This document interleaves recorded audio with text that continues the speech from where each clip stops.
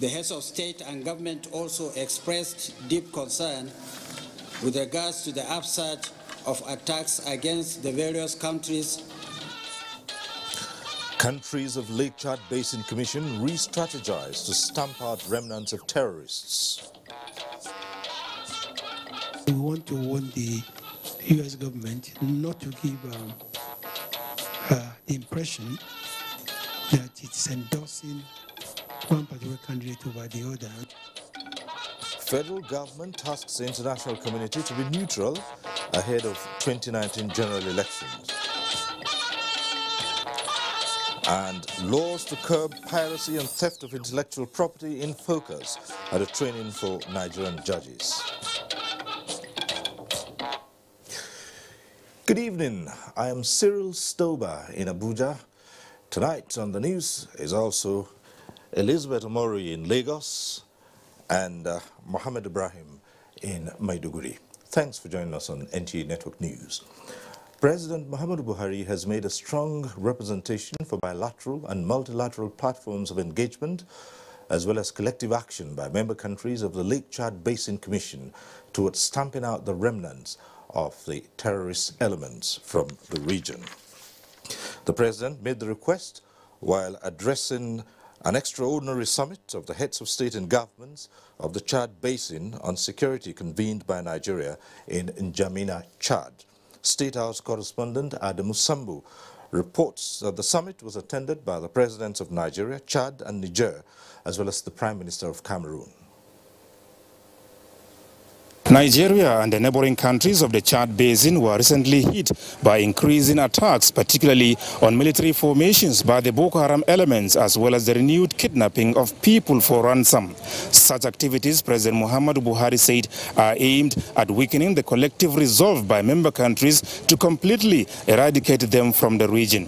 This extraordinary summit of the country's leadership in N'Djamena, Chad was convened by the Nigerian leader to reassess the situation as well as collective efforts in the task of finding lasting solutions. He told the leaders that the renewed strategy of increased mining of the general area by the insurgents as well as the deployment of unmanned aerial vehicles for surveillance activities have proved to be critical factors in the resurgence of attacks. This seemingly progressive acquisition of assault capabilities by the remnants of an already degraded sect, the president said, is worrisome. We must not cave in, he however emphasized at the closed-door meeting, saying efforts must be intensified towards ensuring that the enemies of the region do not succeed in their quest to destabilize the area. President Buhari called for the reinvigoration of collective will and commitment by member countries towards the complete eradication and decimation of the remnant elements so as to ensure peace, stability and sustainable development. While noting that the twin problems of poverty and the continued shrinkage of Lake Chad have rendered the people vulnerable to terrorist activities, the Nigerian leader stressed the urgent need for concerted efforts towards recharging the lake. He restated Nigeria's commitment towards actualizing the interbasin water transfer project so as to unlock the economic potentials of the region and provide solutions to the myriad of interrelated challenges. His administration, he also said, is committed to providing the required leadership and direction for the actualization of the peace project as well as adequate political support in the renewed fight against Boko Haram and other forms of criminality in the region. The heads of state and government also expressed deep concern to the upsurge of attacks against the various countries and expressed the crucial need to change their modus operandi in the fight against Boko Haram. In this regard, the leaders took a number of decisions which included operational cooperation. In this context, they appealed to the international community to support their efforts in the fight against terrorism in the region and in the stabilization and sustainable development of the sub-region. They also agreed to hold regular consultations among themselves. To the gallant troops ensuring the safety and stability of the region despite all odds, participants at the summit say their welfare is and will continue to remain top priority. From N'Djamena, Chad, Adamu Sambo, NTA News. In the meantime, the Nigeria-Niger Joint Commission for Cooperation has met with technical and financial partners towards implementing some of the projects that will improve the lives of citizens around the Nigeria-Niger border. Minister of State for Foreign Affairs Khadija Bukar Ibrahim, who declared the meeting open, asked for more synergy in achieving the goals of the Commission. Foreign Desk correspondent Makut Simon Macham reports. The Nigeria-Niger Joint Commission for Cooperation was established pursuant to the objectives of the ECOWAS Commission, which promotes regional integration and development. The Commission has been working on building development corridors between Nigeria and Niger which target trade, infrastructural development and people-to-people -people contacts. This meeting in Abuja seeks to mobilize financing for the acceleration of earmarked projects within the corridor.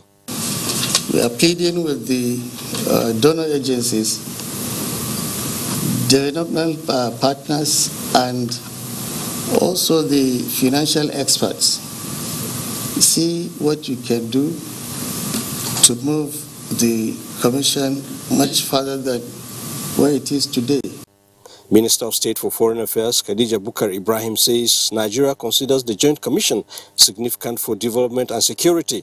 I wish to appeal to the development partners and donor agencies, particularly those based in Nigeria, where there is no major sponsor for the program yet, to kindly support this noble cause through provision of logistics as well as financing the institutional structures for the implementation of the projects on the Nigeria side. You can, we can even invite uh, uh, some private funding and work out uh, a way for them to recover the investment over time. The meeting hopes to secure commitment from donors as well as generate more determination to achieve set goals. In Abuja, Makut Simon Macham, NTA News. In staying with regional cooperation, ECOWAS Parliament Committee is considering possible ways of eliminating double taxation and exorbitant tariffs along the borders. This is in view of the challenges associated with the ECOWAS free movement of goods and persons in the sub-region. Joseph Orok reports that this is at the second ordinary session of the Parliament in Abuja. This uh, issue of um, free movement of persons, we have played lip service to it. We've been moving around, we find the difficulties, the challenges crossing the borders, even as human beings, not to talk of goods and services. To get the ECOWAS protocol on free movements of goods and persons working, as well as to address issues on double taxation is what the committee is considering in collaboration with the ECOWAS Commission to make it more practically working. And what is the update on the ECOWAS Common External Tariff to member states? Nigeria, before advent of the CET, um, had several tariff bands. They went through a process of reducing them and gradually adjusting till they had five ECOWAS findings reveals have not reached optimal tax level, which is why the committee is deliberating on to complement the efforts of the ECOWAS Commission. In Abuja, Joseph Orok, NTA News. Our Saudi Arabian Minister of Petroleum, Industry and Mineral Resources, Khalid Al-Falih, is in Nigeria to seek collaboration in stabilization of the global crude oil market ahead of oil OPEC meeting in Vienna, Austria this December. Correspondent Lydia Sampson reports that with the visit, Nigeria-Saudi relations are expected to be further strengthened. Saudi Arabia is the leading producer of the world's most important product, oil.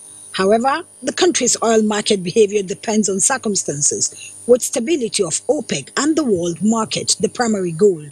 Saudi's oil minister Khalid Al-Falih is in Nigeria as part of his visit to critical oil producing countries to widely consult on how to address volatility in the global oil market. Nigeria and Saudi Arabia are uh, very uh, close countries uh, politically, culturally, socially. Um, it's fair to say that uh, Nigeria is uh, a cornerstone, if not the cornerstone, within the African continent. Nigeria's Minister of State Petroleum Resources, Emmanuel Ibe Kachikwu, described their meeting behind closed doors as fruitful and acknowledged Saudi Arabia's key role in stabilization of the global oil market. Kachikwu said Nigerian government will collaborate with the Kingdom of Saudi Arabia to revamp the country's refineries. The substance of our conversation has basically nudged on the uh, oil outlook today, uh, what is happening, where we're going, what we need to do, both ministers commended stability in Nigeria's oil and gas sector, reiterating that all hands will be on deck to ensure stability in the global crude oil price in 2019. In Abuja, Lydia Sampson, NTA News.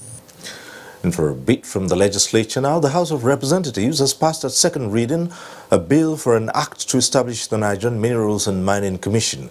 National Assembly correspondent Lami Ali reports that the passage of the bill is in line with government's efforts to make the sector more vibrant. The Nigerian Minerals and Mining Commission Act is an establishment bill which will repeal the Nigerian Minerals and Mining Act 2007 forwarded from the Senate to the House for concurrence. Debates on the bill saw members highlighting its benefits to Nigeria's economic diversification drive. The bill, Mr. Speaker, creates opportunities for local and foreign investors and establishes a regulatory framework for the Nigerian mining industry. Especially against the backdrop of the gospel of diversification of Nigerian economy away from oil.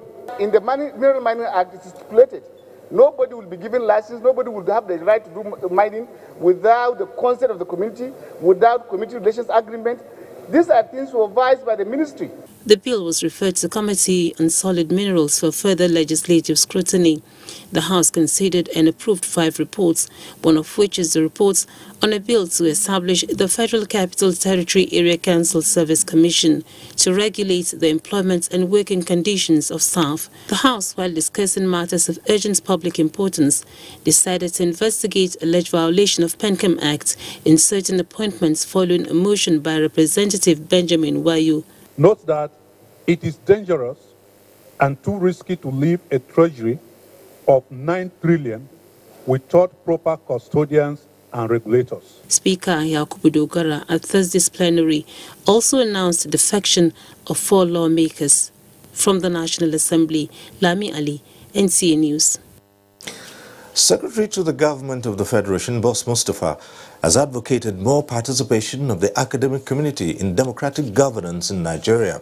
He stated this while delivering a paper entitled The Role of the Academia in Consolidating Nigeria's Democracy at the Distinguished Personality Lecture of the Department of History and International Studies of the Babcock University, Ilishan Remo, Ogun State. Shegun Lawali reports. The Secretary to the Government of the Federation, Boss Mustapha, will observe that government alone cannot solve all the problems of the society, challenge the academia to get more actively involved in the democratic process and not be contented with serving as returning officers during elections. The SGF specifically tasked academic institutions in the country to continually appraise the policies and programs of government at all levels and offer constructive criticisms when necessary for the entrenchment of good governance and democratic ideals.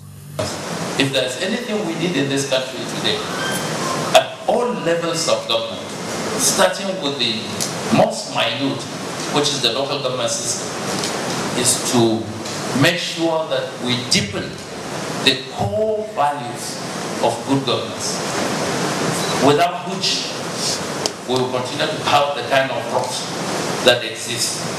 The Ogun State Governor, Senator Ibikunle Amosun, represented by the Secretary to the State Government, Taiwo Adeoluwa, said that his administration will continue to partner tertiary institutions in the state to ensure that the outcome of their research is enjoyed by all and sundry. He commended the organizers for the initiative, noting that the title was apt, coming at the time the country was preparing for the 2019 general elections. In Abeokuta, Shegun Lawole, NTA News. And it's time for our first break tonight. The news continues shortly. Stay with us. Thanks for staying with us on the news. Now, the impact of the mass media on the society in this century has engaged stakeholders on how the conventional media can channel its energy against misleading information which may undermine human development. Usman Aliyu says this was the message at the annual lecture of the Federal Radio Corporation of Nigeria. It's effective, fast and simple Thus, the new media in the developing world. But mischief minds manipulate with information capable of undermining peace and human development, especially in a society like Nigeria with diverse cultures, ethnicity and creed. The federal government takes it as a necessity to educate the Nigerian public about the dangers of news that are not real. Lai Mohammed, the Minister of Information and Culture, has been championing this cause. The UK Parliament is so concerned that they are even contemplating, uh, you know, um, putting a levy on social media news. And I know many countries in the world, like Zambia and Co, that have actually legislated against the social media. But we continue to say in Nigeria, we will not do that, but we continue to appeal to the conscience of the media. Now, the 2019 elections, as they are coming, we should be prepared for more fake news. Again, a forum like this one seeks to highlight the role of conventional media in tackling fake news and hate speech, which contents circulate in the social media platforms. We cannot allow ourselves to be infiltrated by fake news and hate speech because that is not what journalism is being built on. No, we manage information. So no fake news come into us and we are online too. So we check and balance. We need to begin to develop a critical culture among our children and among our students, a culture that equips them to detect falsehood and to respond appropriately. Although fake news and hate speech are not new, but the effect in this era of globalization is more devastating than before, and so the stakeholders suggest more efforts on public enlightenment, especially with 2019 general election approaching. In Abuja, Usman Aliyu, NTA News. The Kano State All Progressives Congress caucus in the National Assembly has endorsed President Muhammadu Buhari for 2019. National Assembly correspondent Ignatius Unko reports that the Kano State legislators also passed a vote of confidence in Governor Abdullahi Umar Ganduje of Kano State. Members of the Senate and House of Representatives from Kano State, in a clear statement of conviction, assured the All Progressives Congress that Kano State will deliver more than 5 million votes for the re-election of President Muhammadu Buhari come 2019. But really you saw there has never been a rally like that in the, in the whole of this country. There has never been a rally like that in this country. That's why we did that before addressing this press. And want again to reinforce what you saw on Saturday here by passing vote of confidence on Mr. President and our dear governor. And we want to assure you, we are going to surpass that 5 million votes we promised Buhari. The caucus also passed vote of confidence in Governor Abdullahi Umar Ganduje, whom they described as an exemplary leader. Dr. Ganduje, who came into office when a lot of factors seemed terribly against the tide of permeance for any state chief executive, especially the factor of economic downturn, typified by the huge slide the size of federal allocation accruable to the states, shocked many with the outstanding achievements in the various sectors wide ranging from infrastructural development to human capital development. That what we have done this afternoon is like a statement of solidarity by the National Assembly caucus members from Kano State to identify with our dear Governor Dr. Abdullahi Umar Ganduje. This is our position. We will stand by him and by extension, this has also registered our support to Mr. President Muhammadu Buhari come 2019 during the general election. The legislators observed that the leadership of Governor Ganduje brought unprecedented socio-economic development in Kano State. From the National Assembly, Ignatius Nkwo, NTA News. More politics now. Presidential candidates of all the political parties are to sign a peace accord on the 11th of December 2018 in Abuja ahead of the 2019 elections. This is coming from the National Peace Committee chaired by former head of state General Abdul Salami Abubakar. Timothy Yusuf reports. Since Nigeria's return to civil rule in 1999, The country has conducted several elections with varying degrees of violence. The lead up to the 2015 general elections generated so much tension and fear that many informed analysts both within and outside the country predicted the disintegration of Nigeria.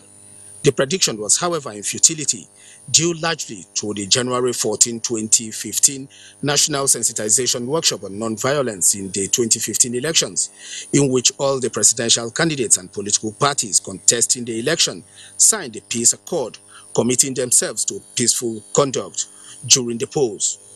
History is about to repeat itself as the country gears towards the 2019 general elections, with this interactive session convened for all the political parties, their presidential candidates in Nigeria, and members of the National Peace Committee in Abuja. We have resolved to adopt the same principles that guided the very successful 2015 elections. Chairman of the National Peace Committee, General Abdulsalami Abubakar, says the political arena must be sensitized in view of certain comments capable of breaching peace in the country. Invariably, the people you want to lead must be alive in the first place before you lead them. The committee's chairman also cautioned on the need for politicians to shun vote buying, which he describes as a great threat to the nation's democracy. Participants to the interactive session raised some concerns ahead of the poll.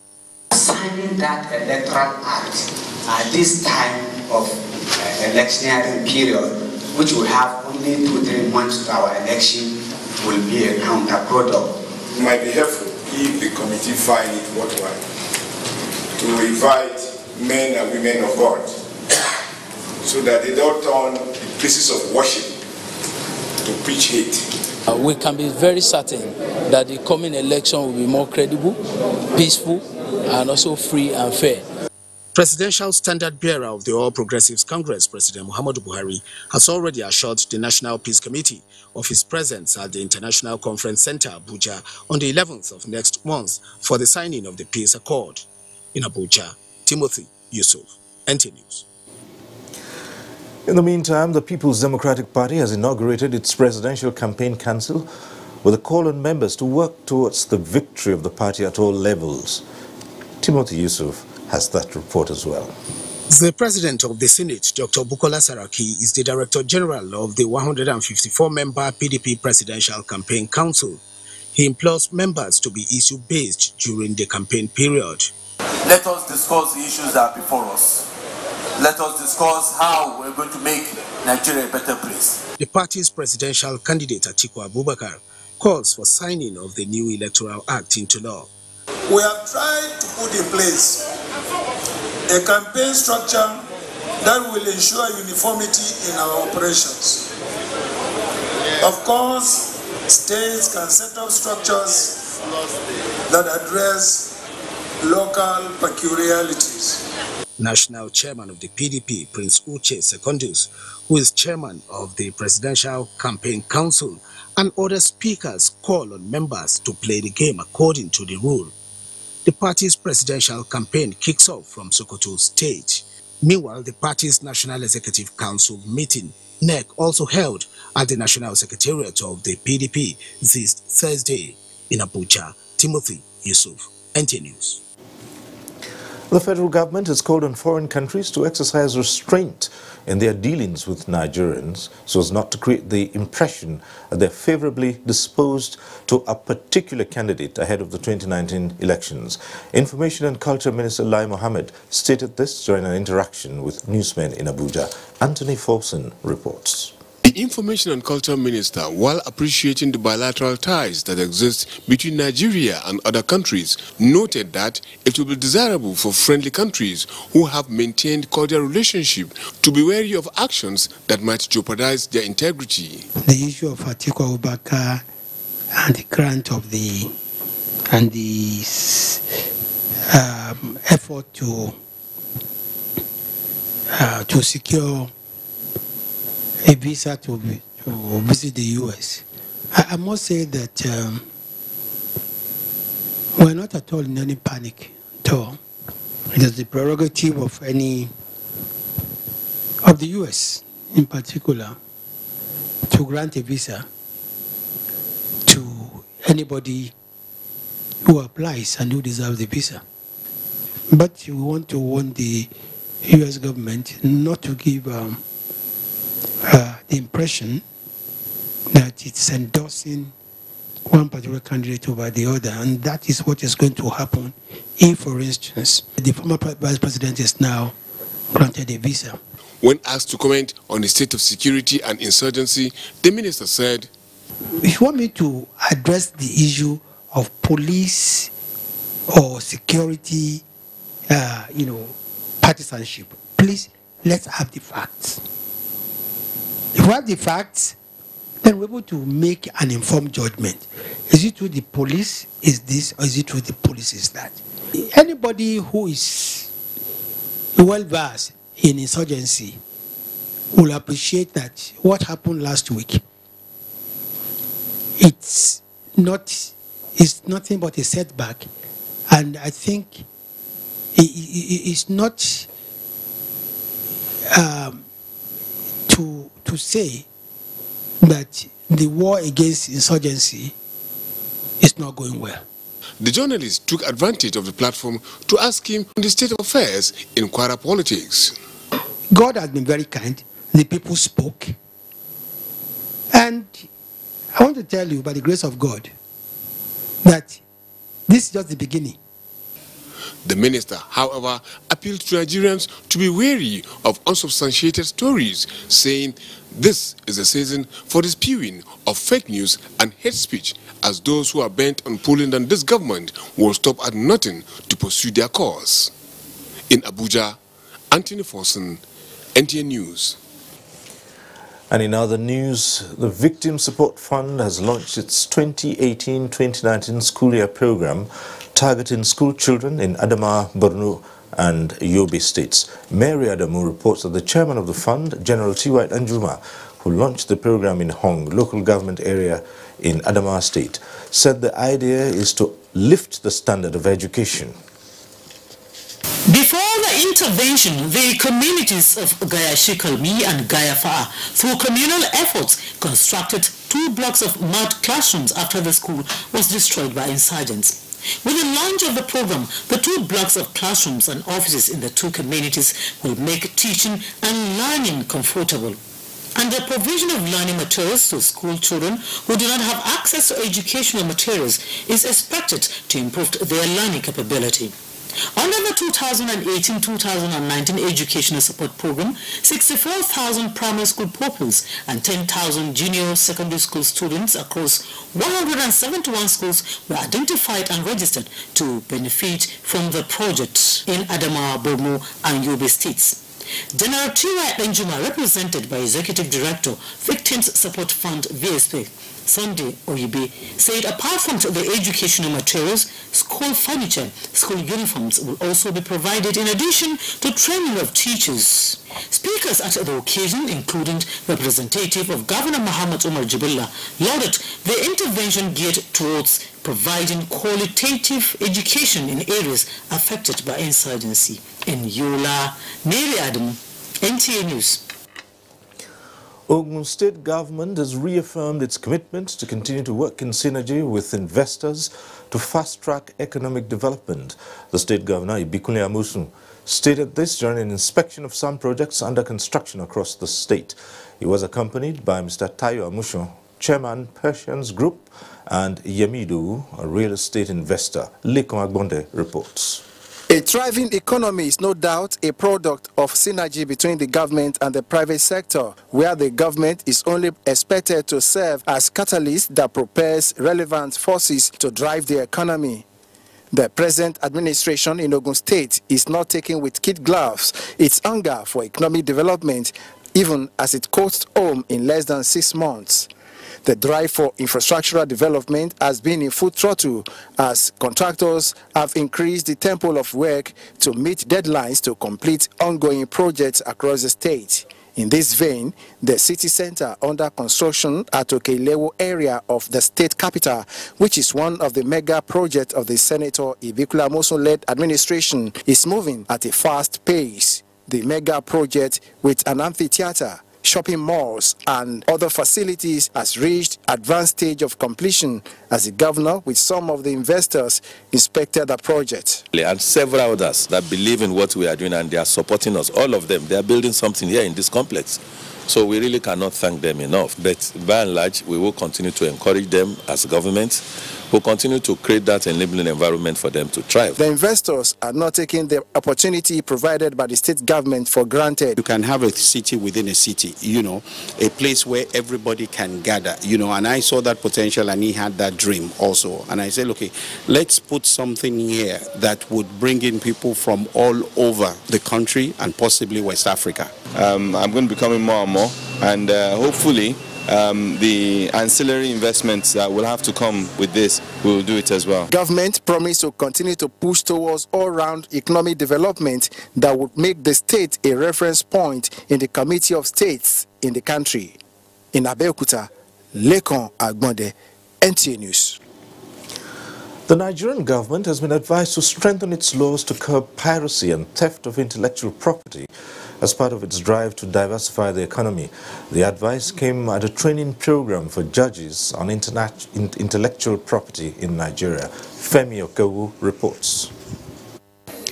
Nigeria is now respected the world over for her high volume of creativity in intellectual property. Followers of the nation's economy even attribute a high rate of growth in the economy to the activities in this sector. But experts at a two-day training of Nigerian judges on intellectual property cases warn that piracy and intellectual property theft can bring down the nation's economy if the justice system is not strengthened to deal with this area. The Nigerian uh, filmmakers and other, of course, uh, uh, right holders should protect their, their filmmaking and also by, by valuing this filmmaking uh, by making it uh, something that we, they can get and profit from and uh, develop their economy. It is thought that the lack of prosecution of violators of intellectual property is the cause of the upsurge in piracy in Nigeria. We should have in the region of about 150 pending copyright cases before federal high courts all over the country. And in the last few years, eight years, we have, out of those cases, the Federal High Court has um, um, discharged about 59, so we've secured about 59 convictions of copyright offenders. The training of the Nigerian judges is a collaboration of the World Intellectual Property Organization and the Nigerian Copyright Commission. In Abuja, Femi Okeowo, NTA News. It's now time for our next set of reports from Lagos as we link up with Elizabeth in our Lagos Network Center. Hello, Elizabeth. It's good to see you, Cyril, and thanks for joining us in Lagos. Experts in the judicial sector have recommended measures to prison sentencing in high and magistrate courts. This, they say, will encourage speedy trial and reduce incidences of pre-trial detention. Abolore Ogba reports that the recommendation is contained in the findings and case monitoring in Lagos. The three-year project aimed at enhancing integrity in the criminal justice system through court observations used the laws in Federal Capital Territory, Lagos and Ondo States as case study. To arrive at these findings, partners West Africa Nigeria worked closely with chief judges, supervising judges, and court registrars who approved access for them in the courts across the states. A total of 25 observers were deployed across high and magistrate courts in Lagos State, for instance. The findings, which commenced in March 2018, were concluded in September. We thought that it was wise for us to be able to assess what they are doing, how far the implementation is going, and where there are lapses, where there are gaps, so that we can make recommendations so that the judiciary, the government can say, okay, these are the areas we need to work on. Stakeholders in the sector say there is need to invest in the capacity of criminal justice actors in the state. Organizations that are on ground having this data, like uh, fight against corruption, judiciary, the data will help us in the way and manner we approach in solving the problem. Presentation of findings assessments by the project team was based on court observation, average time of court sittings, locations of court sittings, support available to courts, and attendance to cost list. The program was an opportunity for legal practitioners and stakeholders to deliberate on the way forward in the judicial sector. In Lagos, Abolore Ogbara, NTA News. Lagos State Governor Akinwunmi Ambode has urged security agencies to take practical steps to be ahead of criminal elements. He was speaking at the 12th Town Hall meeting on security organized by the Lagos State Government. Nosa Osula reports. The State Commissioner of Police, Imohimi Edgal, commended Governor Ambode for his massive investment and commitment to security of lives and property, saying the achievements recorded by the command were largely due to the support of the state government. We must be able to communicate two-way with our operatives everywhere in the states, from Epe to Ikorodu to Badagry to everywhere.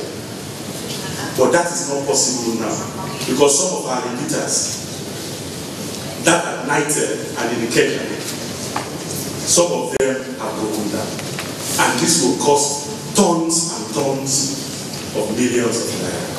The commissioner added that the governor recently approved the procurement of six additional gunboats to effectively police the waterways, among other security interventions by the state government.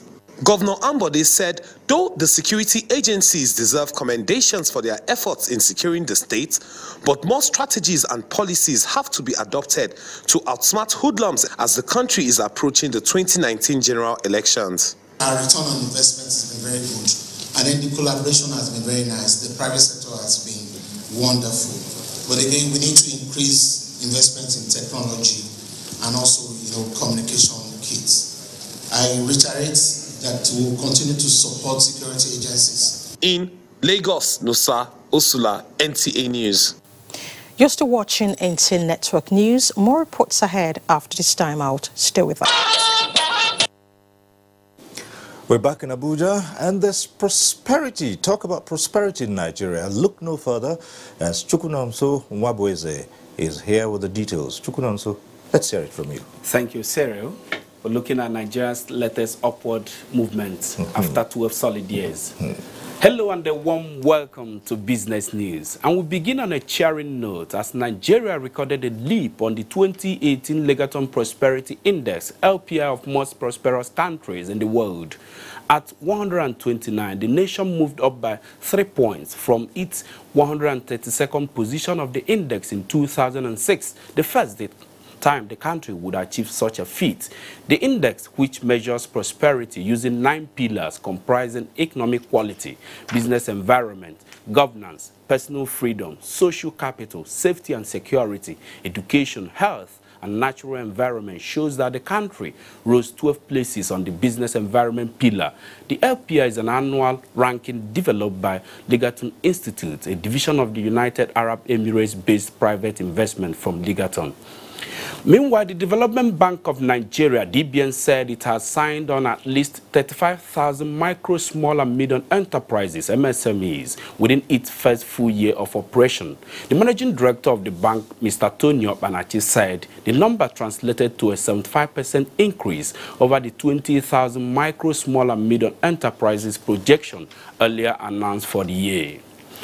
Moving on, the equities market was bearish today, depreciating by minus 1.33% to close at 30,611.55 basis points, with more than 400 million shares exchanging hands in 3,648 deals valued at more than 4 billion naira market capitalization stood at 11 trillion naira. Financial services sector recorded the highest patronage with Universal Insurance, Access Bank, and Stanbic IBTC Holdings topping the table. And that concludes business news at this time. Thanks for being there. I am Chukwunonso Nwabueze. It's back to you, Cyril. Thank you, Chukwunonso. Nobel laureate Professor Wole Soyinka is among honorary doctorate degree recipients, which he says may be his last award from the Ivory Tower, as the Federal University of Agriculture Abeokuta holds its 26th convocation ceremony in Abeokuta. Correspondent Muhammad Adibo Ali reports that a total of 3,396 graduates bagged various degrees at the ceremony.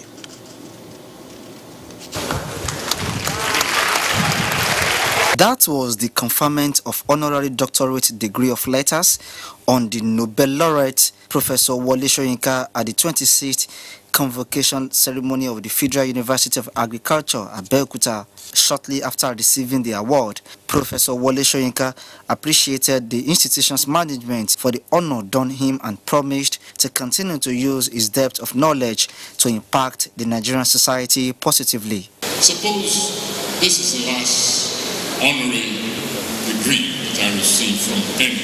What a beautiful closure. This is the last honor I'm receiving from any. The guest speaker at the convocation lecture, Professor Toyin Falola of the Department of History, University of Texas, was also conferred with the honorary doctorate degree of letters. There is no single cause to Africa's food crisis. It developed over time through complex historical and economic circumstances. A layered problem requires a layered solution. The 26th convocation ceremony was adjudged as significant event in the lives of the 2016-2017 set of graduates and the school management. The University Senate is committed to quality assurance and has responded to challenges very adequately to accomplish. Ms. Akinyele Oluwatobiloba Oyindamola of the Department of Nutrition and Dietetics emerged the overall best student of the year. The fact that I crossed from agricultural technology to nutrition and dietetics because it was a totally different ball game for me. I never envisioned myself being, a, being the best graduating student of the university. A total of 3,396 students graduated at the ceremony in Abeokuta, Mohammed Adibawale, NTA News. Our next stop is Maiduguri and we link up with Mohammed. Hello, Mohammed. Hello, Cyril. Thank you and welcome to Maiduguri. The All Progressives Congress Party National Peace and Reconciliation Committee for the Northeast has met with aggrieved aspirants of the last primaries with assurance to treat all discontent and give members a sense of belonging. The meeting in Maiduguri, the Borno state capital, chaired by Nasarawa State Governor Umar Tanko Al-Makura, received presentations from aggrieved aspirants from Borno and Yobe states. Mohamed Goni reports. The National Peace and Reconciliation Committee for the Northeast was in Maiduguri in compliance with its mandate from the National Working Committee of the APC to reconcile all individuals and groups. The chairman, Nasarawa State Governor Umar Tanko Al-Makura said the committee neither adjudicates nor arbitrates, but mediatory, and appealed to the aggrieved aspirants to limit themselves to the committee's guideline. Our aim and objective is to ensure an enhanced platform bring peace, stability, cohesion in our party. The deputy chairman of the committee, Jigawa State Governor Muhammad Abubakar Badaru, described the response by the aggrieved members as a demonstration of their loyalty to the APC. When it was time for the aggrieved persons to present their grievances, government and the party officials were asked to leave the venue. We've already laid complaint to the Reconciliation Committee set up by His Excellency Governor Kashim Shettima. We want them to all bring the aggrieved person to stay in the party. Aggrieved members with the same complaints have been advised to jointly present their cases to save time and to enable the mediatory exercise achieve its objective of reconciling all discontent from the last primaries in the two states. In Maiduguri, Mahmoud Goni, NTA News. Activities of humanitarian service organizations supporting recovery of communities in Borno and Yobe states is attracting fraudsters who have succeeded in defrauding operators of businesses of over 60 million naira in both states. Zonal Head of EFCC Borno Yobe Command Aminu Ado Aliu had in a 2018 last quarter operational briefing urged individuals and organizations to comply with anti-money laundering laws to avoid falling victims to the swindlers. The report is here presented. The anti-graft agency says during the last quarter of 2018, it secured four convictions, including that of a senior lawyer sentenced to seven years, recovered 24 million naira belonging to groups and individuals, as well as rejected 37 petitions.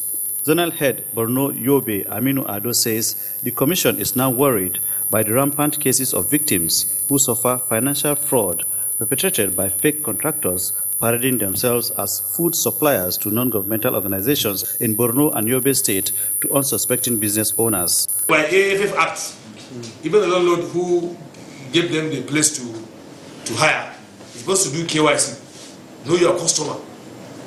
You can't just, somebody come to your place, use your premises, or this, I don't know way. You'll be held responsible. He cited three cases where the fraudsters who claimed to be agents of NGOs presented fake purchase orders and made away with 40 million naira, another 15 million naira plus 4 million naira respectively. EFCC called on the public to be wary of such fraudulent transactions which are on the increase and verify contract documents before releasing funds. Another disturbing trend the anti-graft agency revealed is fraudulent cash investment companies who lure investors for quick profits based on weekly returns on investments. That is all for our contribution, and from this end is back to Cyril in Abuja. Thank you, Mohammed, and it's another break. We'll be right back. The death has been announced of Chief Felix Chukudi Inoramele at the age of 82. A renowned educationist, political and community leader, late Chief Inoramele was active with the Zikist movement in the 60s and served as the secretary of the NCNC Ikeja, Lagos. He remained deeply in politics until his death. He'll be buried tomorrow, Friday, the 30th of November, in his compound after a funeral service at 11 o'clock in the morning at St. Barnabas Anglican Church, Ahiazu Mbaise local government area, Imo State. And that concludes Network News tonight. We thank you for watching. I'm Cyril Stober. Good night.